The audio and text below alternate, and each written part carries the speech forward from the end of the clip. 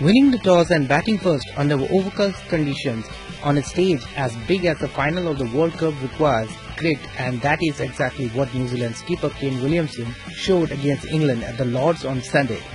A total of 241 for 8 in the final can always be tricky for the opposition, especially when you have a bowling attack that is known to defend low totals well.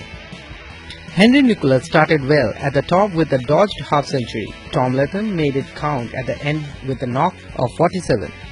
For England, it was another quality show from Liam Plunkett as he pegged the Kiwi back every time they looked to take the attack to the English bowlers. Plunkett finished with figures of 3 for 42 from his 10 overs and he was ably supported by Chris Woakes 3 for 37 and Jofra Archer 1 for 42 earlier with the instant drizzle delaying the final by 15 minutes. Our next report.